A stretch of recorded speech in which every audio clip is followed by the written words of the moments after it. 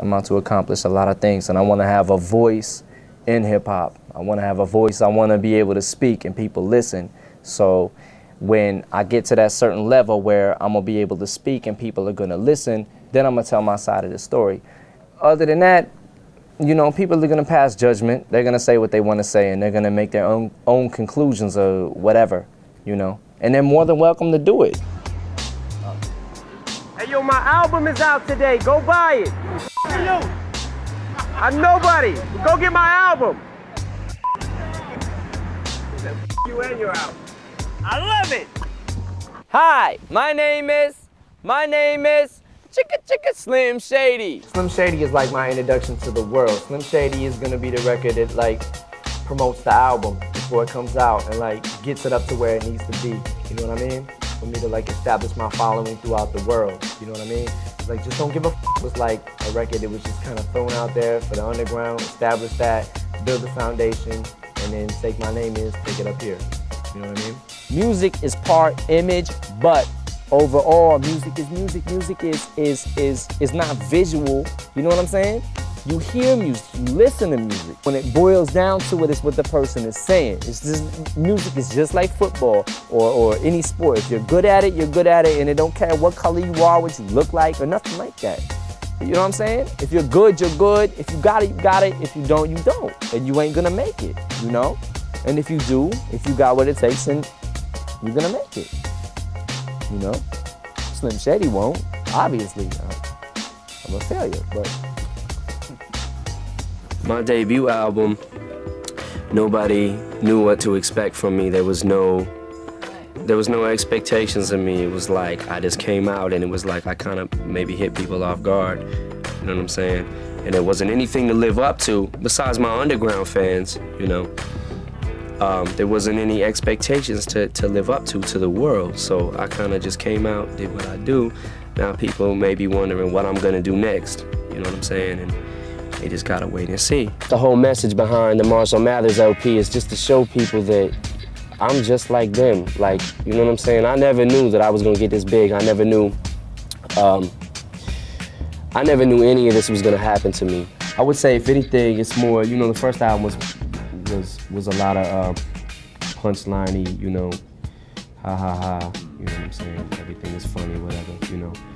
But uh, this album, I think, is on a more, a little more serious vibe to it, you know. And I would say it's me telling it like it is to the third power. I'm here for the fans. I'm here for everybody who understands me and, and, and, and relates to me, and anybody who don't can kiss my ass. I don't care. You know what I'm saying? It, it doesn't matter to me. I don't care. I don't care. I don't care. I've really learned to calm down. You know what I'm saying? And assess the situation.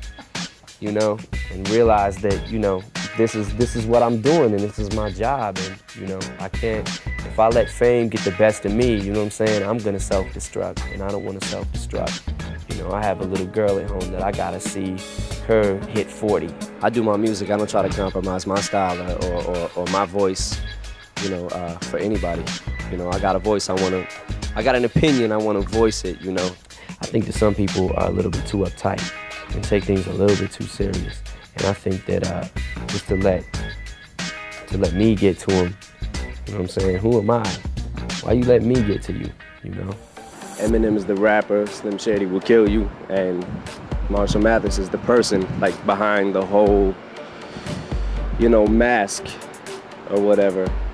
That's the way I see it. This record came out and it blew up enormously, and you've sort of been embraced by the mainstream. Do you feel you've finally gotten the respect that you've deserved all along? Um, yeah, I'm definitely feeling it. You know, it's it's always gonna be mixed with with every artist that comes Mm-hmm. out. You know, you're gonna feel hate, you're gonna feel love, and in the areas where I feel like I need to feel it, I'm feeling it. So. Is it uh, is it weird for you to be out with a record that's not, you know, no one's like freaking out or protesting you? It's just sort of like we love Eminem. Yeah, that's a little weird. Yeah. Is it, is it possible to sell 8 million records and still be really, really angry?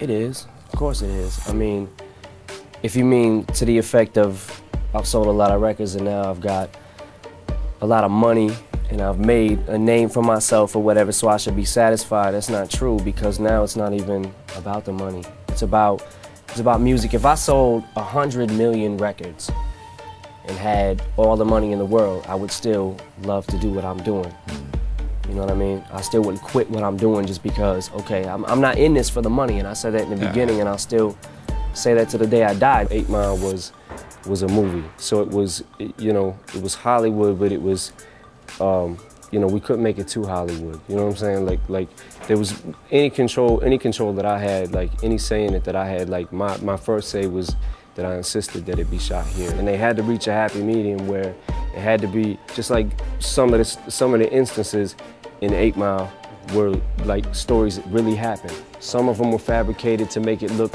you know, to make it more interesting. Still, the necessity of the like the intensity of, of, of the battle, and there was nothing to hype up. That's how intense it was. You had the number one movie and the number one album in the country at the same time. Your soundtrack was two weeks out and it was still number one, and the movie was number one. Did you expect everything to do that well? I don't, you know what? I don't um, focus too much on that. If I do, like, I stay in the studio, I keep working, you know. It doesn't matter if the movie did nothing or it did a hundred thousand million. It doesn't matter. Like, I stay working just like how, you know, uh, Rakim and Run DMC influenced me. And I can tell you how they did you would have to ask the other rappers coming up 10 years from now how I influenced them or whatever. Because I don't know if people actually, the average listener, I don't know if they actually see what I, what it is or hear the patterns and syllable rhyming and stuff like that. I don't know if they really catch that. Like I think they just listen and like appreciate it for the, the beat and what it's saying, but there's a certain way that it's said that I write, that Redman writes, that uh, Jay-Z, that Nas, they craft, they craft it down to the very last detail and I don't know, and make it look easy. So the average listener may think it's easy, but the truth is that everybody would be doing that if, if it was so easy. I don't always know my next move. And I'm surprised people didn't catch on sooner with the Encore album that, you know, I'm, you know, I'm taking a bow. So, is this your last album? um, I don't know. Is your last know, tour? Uh, don't know. I, I really don't know. See, the, the, these are all moves that I can't, I can't tell you I'm gonna, I'm gonna tour forever. I'm gonna rap forever. I'm gonna always have, I'm gonna always have music in my blood. on this day, now when you look forward to the future, what is it that you dream about doing now? What do you aspire to do? basically just keep hip hop moving, man. Just keep it, you know, after me, after after 50, at- you know what I'm saying? Like the build for the next generation of um, hip hop. Just make it keep expanding. Like if if my contribution to this game is is that that 40 some year old person walking up to me saying, yo, you you made me like hip hop. You know what I'm saying? If, if I get that one person or whatever that says, since I listen to you, you turned me on to rap. Now I went and bought, you know, Nelly's album. I went and bought, you know what I'm saying, like Jay-Z's album. What, whatever my contribution, if, if, if it's that, then so be it. Mm-hmm. Whatever it is, is, is to, to, to help the growth of hip hop, to help keep expanding it and, and build it.